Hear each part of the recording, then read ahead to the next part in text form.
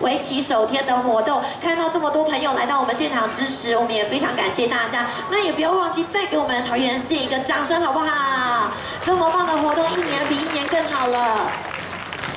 好，来简单介绍一下我们的雅军舞蹈团哦，因为我们雅军舞蹈团的团员呢都是来自我。